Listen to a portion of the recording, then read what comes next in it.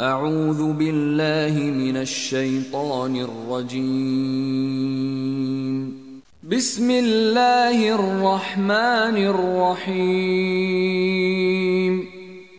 The night when it covers, and by the day when it appears, and by He who created the male and female.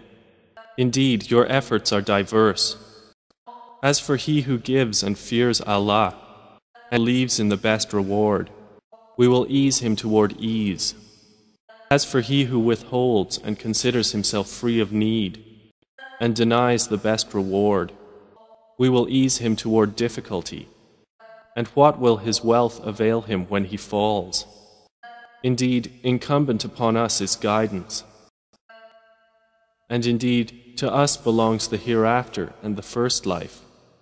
So I have warned you of a fire which is blazing.